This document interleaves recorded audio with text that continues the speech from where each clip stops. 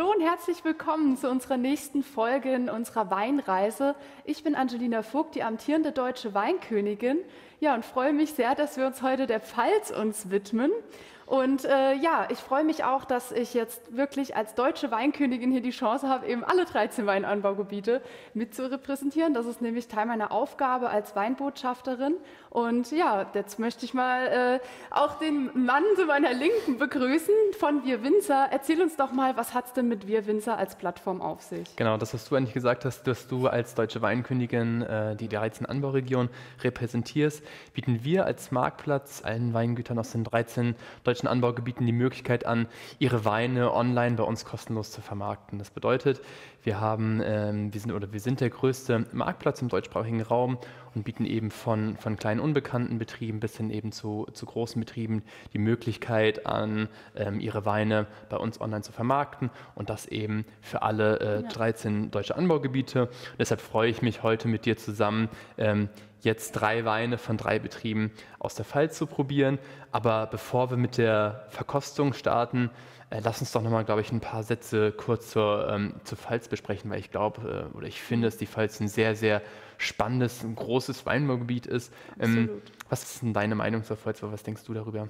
Ja, also du hast schon angesprochen, die Pfalz ist das zweitgrößte Anbaugebiet und ich finde, es zieht sich eigentlich äh, durch viele Dinge hindurch. Ich sage immer, die Pfalz ist so das Anbaugebiet der Superlativen. Mhm. Sie haben das größte Weinfest, mhm. immer in Bad Dürkheim mhm. jedes Jahr. Sie haben das größte Holzfass. Mhm. Sie haben aber auch zum Beispiel die Deutsche Weinstraße, mhm. die sich über 85 Kilometer erstreckt. Und wir haben natürlich auch eine enorme Rebsortenvielfalt. Und was ich auch sehr spannend finde, die Pfalz ist tatsächlich das größte Riesling-Anbaugebiet mhm. der Welt. Ja. ich glaube mit knapp 5000 Hektar sogar. Ne? Ja, also es ist genau. ja wirklich äh, ist sehr, sehr groß. Ja. Deswegen haben wir natürlich heute auch, ein, auch einen ja. Riesling dabei. Und das, was du auch gesagt hast, ich finde so gerade diese Offenheit der Pfälzer oder der Pelzer, wie man sie ja auch nennt, das ist ja wirklich mit den ganzen Weinfesten. Man hat immer das Gefühl, man ist eingeladen, man kann immer irgendwie zu den Weingütern gehen, kann was probieren. Sehr also das ist wirklich sehr, sehr gastfreundlich. Und deshalb freue ich mich jetzt auch darauf, ähm, drei Weine zu probieren. Wir haben drei verschiedene Rebsorten, habe ich mitgenommen. Mhm. Alles drei erstmal grundsätzlich sind Biobetriebe, was ja auch, auch immer schon mal sehr, sehr schön ist. Pfalz hat auch viele, viele äh, Bio- oder Demeter-Betriebe, mhm. auch biodynamische Betriebe.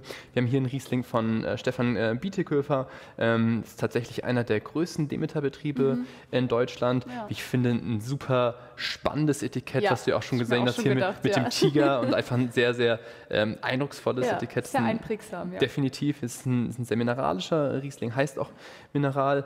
Dann haben wir hier als zweiten Wein haben wir aus dem Hause Dr. Wehrheim, ein Weißburgunder Kalkstück. Ähm, Weißburgunder ist eine der wichtigsten ähm, Rebsorten für das Weingut. Er hält auch mhm. regelmäßig von, von den führenden ähm, Weinkritikern wie Gourmillot, Wienum oder Eichelmann ähm, gerade für die, für die Weißburgunder immer tolle Auszeichnung. Ja. Inzwischen ist Franz Wehrheim ähm, eingestiegen und macht das zusammen mit seinem Vater, ähm, ja. leitet er da den Betrieb.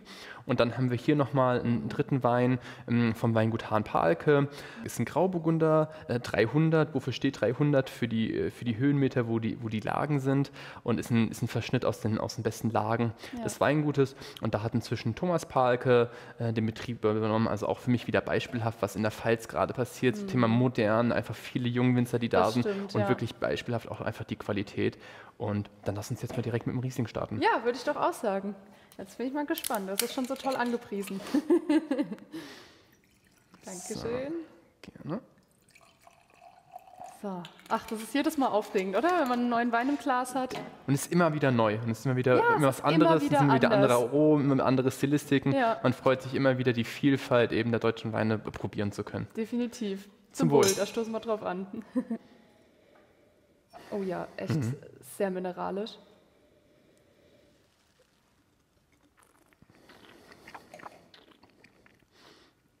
Mhm. Oh wow. Mhm.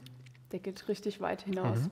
Und ich finde hier vor allen Dingen diese eine, gerade vom äh, von, der, von der Nase her, das, was du angedeutet hast, diese Mineralität, ich finde, das mhm. merkt man auch ganz klar im Geschmack. Ja, total. Aber du hast trotz, trotzdem diese, diese typischen Riesling-Aromen, mhm. dieses, dieses Pfirsiche, äh, ja. so ein bisschen diese reife Früchte. Ähm, ja. Hast aber, finde ich, auch so leichte grüne Noten noch dabei. Und ja. ähm, ist einfach ein unheimlich dichter, komplexer Wein Total. und ich finde, der macht unheimlich Spaß. Ja, der macht echt und Spaß. hat nicht so eine, wie ich auch finde, wie ähm, was, was typisch auch an der, äh, an der Pfalz oder für die Pfalz ist, hat nicht so eine dominante Säure wie vielleicht mm. die mhm. Rieslinge von anderen Regionen. Ja. Und deswegen glaube ich, sind auch gerade nochmal die Pfälzer Rieslinge einfach sehr, sehr, ähm, sehr, sehr spannend. Definitiv. Doch, gefällt mir unglaublich gut. Eine sehr feine Frucht. Sehr schön. Dann lass uns doch direkt mit dem Weißburgunder weitermachen. Oh ja. Kalkstück Weißburgunder, wie der Name schon sagt, Kalkstück, also Terroir betont. Ist eine der wichtigsten Bödenarten im Hause Wehrheims. Es ist ein VDP-Wein und ähm, wie ich finde, die Visitenkarte. Ja. Und ähm, jetzt bin ich mal gespannt, was du dazu sagst. Ich finde, ähm, ich mag dieses, ich mag dieses Kalkige, ich mag dieses Mineralische sehr, sehr gerne in den Wein. Und jetzt freue ich mich auf deine Meinung. Ja, da riechen wir doch mal rein. Oh wow. Ja, das hat man schon direkt in der Nase. Wahnsinn. Mm. Wow, der hat auch schon wirklich so eine salzige Note. Total spannend und aber trotzdem diese Cremigkeit mit dabei, eine ganz feine Frucht. Also Ich mag das genau, genau das ist so diese Salzigkeit, Ja. wenn, der, wenn du den Wein runtergeschluckt hast und du hast noch so im, im Nachgang hast du das noch und du, du, du schmeckst wie als ob du so ein bisschen an. Ja. irgendwie auf so Salzkristallen oder so gerade Ja. drauf beißt und hast sofort Lust auf den zweiten Schluck. Wow, also ja. finde ich auch einen, einen sehr eleganten, hochwertigen Wein. Ähm, Ja. Finde ich schön schlank, aber Ja. trotzdem es hat er einen ordentlichen Körper, aber einfach einen, mit einem moderaten Alkohol. Also finde Ja. ich ein, das ist ein toller Wein, den Franz ja, Wehrlein da das, das kreiert sieht hat. man mal wieder, was mit Weißburgunder alles was möglich möglich ist. ist. Also genau, wirklich ja. Also eben nicht nur, diese, ja. nicht nur diese fetten Weine, sondern Genau. wirklich schlanke, hochwertige, filigrane äh, Weine. Das ist ein sehr, sehr schöner, sehr, schöner VDP-Gutswein. Absolut, doch, stimme ich dir vollkommen zu. Toll. Mm. Also der ist auch echt zum Essen genial. Mhm. Kann ich mir richtig gut vorstellen. Da kann man ziemlich viel mit anstellen. Definitiv. Ja. Prima. Dann Ja. lass uns zum letzten Wein gehen. 300 Grauburgunder, wie ich schon gesagt habe. Ähm, Thomas Parke, seit einigen Jahren den da den Betrieb übernommen hat. Mhm. Ähm, jetzt ein relativ komplexer, cremiger Wein. Mhm. Ähm, Verschnitt aus verschiedenen Lagen, das heißt auch unterschiedliche Terroirs Ja. miteinander kombiniert. Ähm, trotzdem moderat vom Alkohol, also Mhm. mit 12,5 Volumenprozent, Ja. tendenziell eher für, einen- für einen Grauburgunder, gerade für einen Lagenwein, ähm, eher wenig, äh, was ich sehr, sehr angenehm finde, Ja. einfach weil ich finde, es, es muss nicht mehr so viel Alkohol sein. Ähm, auch ein Biowein und ähm, ich finde da für, für, das, für das junge Alter noch, also finde ich, macht er wirklich äh, sehr, sehr schöne und hochwertige Weine in der Mhm. ja. Hinsicht. Prost! Zum Wohl.